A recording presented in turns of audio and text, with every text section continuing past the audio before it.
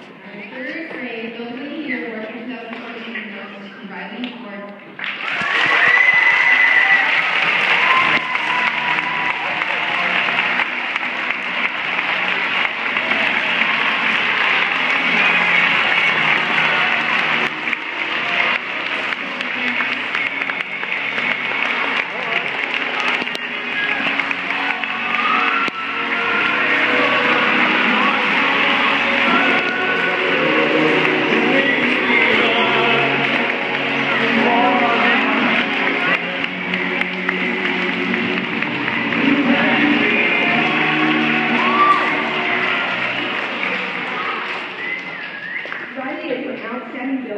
School.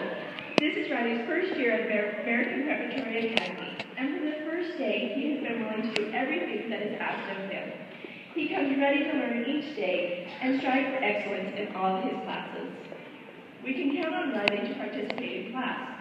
He is always one of the first students with his hand up to answer questions. Riley is kind and caring and a good example to all his classmates and considers everyone his friend. Classroom after school.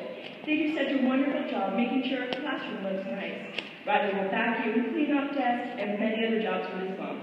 All of these things make you, Riley, amazing.